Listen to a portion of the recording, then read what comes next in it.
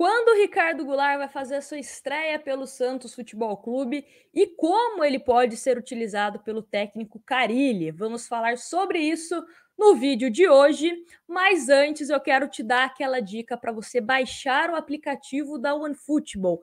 Link na descrição e no primeiro comentário fixado. Aí você vai pegar o aplicativo, vai selecionar o Santos como seu time do coração e você terá acesso a todas as informações do Peixe em primeira mão. Tem estatísticas também, tudo sobre a Copinha, tudo sobre o Campeonato Paulista que tá para começar. Então, quer ficar bem informado de Santos? Além de acompanhar aqui ao nosso canal, também baixe o aplicativo para você ficar bem informado. E se você gosta da Bundesliga, tem transmissão ao vivo e de graça do Campeonato Alemão. Então, não perde mais tempo e baixa aqui o aplicativo da OneFootball.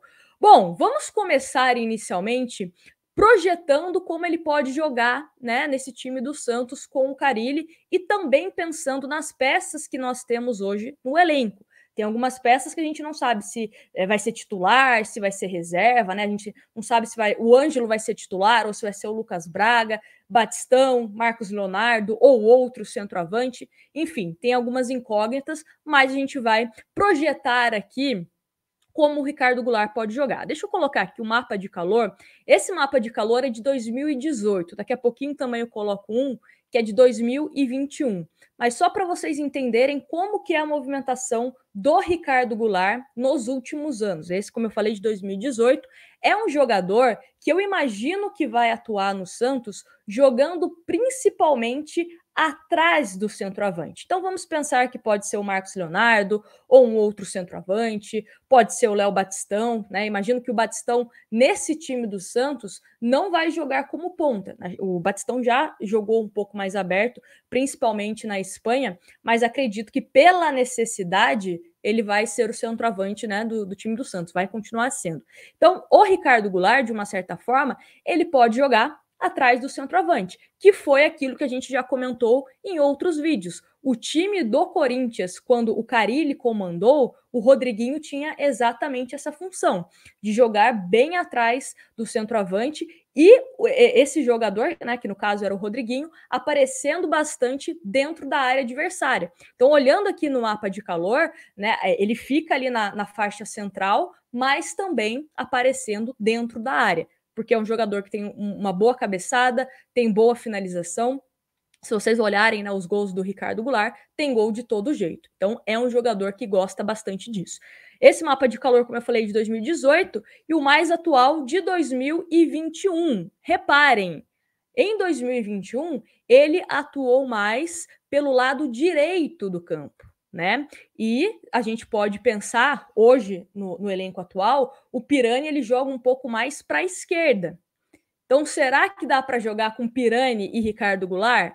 Né? Obviamente é, é, que, que para que isso acontecesse, você teria que abrir mão de algum jogador ali pelas pontas. Então, vai abrir mão do Marinho, vai abrir mão do Ângelo, vai abrir mão do Lucas Braga, ou até mesmo, pensando até de uma maneira mais ousada, vai abrir mão de um cara mais de referência e permitiu uma liberdade maior para o Ricardo Goulart, né? Então, de uma certa forma, é, tem algumas diferenças que a gente precisa colocar na balança.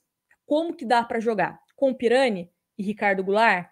Ou só um, só o outro, né? Mas, enfim, Vale ressaltar que o Pirani é um jogador que conduz mais a bola, já o Ricardo Goulart, ele solta a bola muito mais rápido, né? tem essas características também um pouco diferente dos jogadores, mas ambos são jogadores que, de uma certa forma, é, é, sabem pegar a bola, principalmente de costas, né, para o adversário e já dar uma resolução para ela, né? Já despachar a bola. O Pirani ou pega a bola de costas e sai conduzindo, o Ricardo Goulart pega a bola de costas, mas ele tem aquele toque mais rápido. Imagino que fazendo isso com jogadores de mais qualidade, né? Porque se a gente comparar o futebol chinês com o futebol que é praticado aqui no Brasil, e até mesmo jogadores aqui do Santos, né? Como o Marinho, um Lucas Braga ou um Ângelo. Por que, que eu tô falando do Ângelo? Né? Porque o Ângelo consegue jogar nas duas pontas.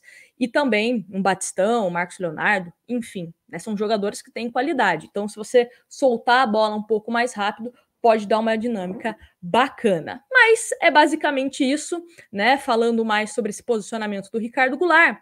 E agora vamos para o que todo mundo quer saber. Quando o Ricardo Goulart vai estrear pelo Santos, matéria do Globo Esporte que diz o seguinte: Santos planeja dias intensos para Ricardo Goulart e já mira estreia do reforço no Paulistão.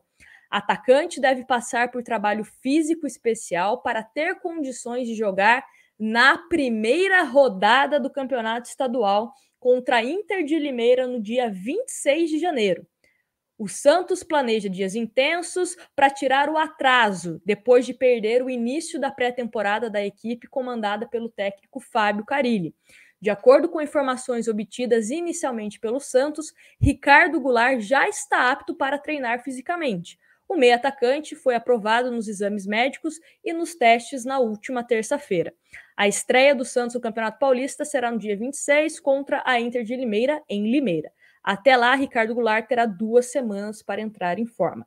É, ele é aguardado, né, já na quinta-feira agora, hoje, melhor dizendo, para começar os trabalhos no CTR Pelé. O Santos, que a gente já comentou aqui ontem, é, também né, não é só o Ricardo Goulart que vai contar com alguns trabalhos mais intensos. O Santos treinando em dois períodos, de manhã e à tarde. Teremos duas partidas, né, dois jogos treinos, melhor dizendo, para que o Carilli consiga também já visualizar a equipe que ele pensa para a estreia do Santos no Campeonato Paulista.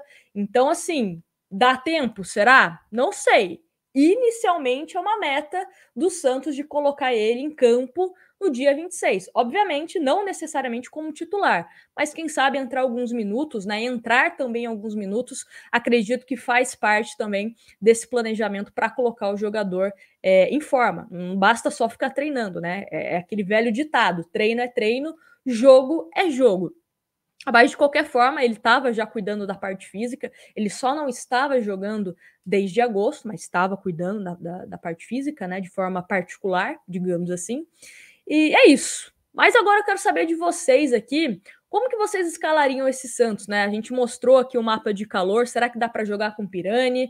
Será que joga sem o Pirani? Dá para jogar com um, jogador, um, um, atleta de referência, né? um centroavante? Tira esse centroavante e deixa o Ricardo Goulart com mais é, mobilidade, mais liberdade em campo. E quero saber de vocês. Já mostramos aqui como ele, como ele consegue jogar, que é um jogador que participa ali da faixa central do campo, mas que tem uma boa chegada, principalmente dentro da área. Agora com vocês aqui nos comentários. Deixa a sua opinião e não esquece também de deixar o seu like, que é super importante para que a gente consiga atingir cada vez mais torcedores do Santos. Agradeço demais a todo mundo que sempre deixa os comentários, assiste até aqui. Se você está assistindo até aqui esse vídeo, Gosto muito de você, tá? Gosto muito de você. E não se esquece também de baixar o aplicativo da OneFootball para você ficar bem informado de tudo que está acontecendo com o Peixe, hein? Quer notícia em primeira mão do Santos? Baixa lá o aplicativo da OneFootball. Um grande abraço para vocês e a gente se vê no próximo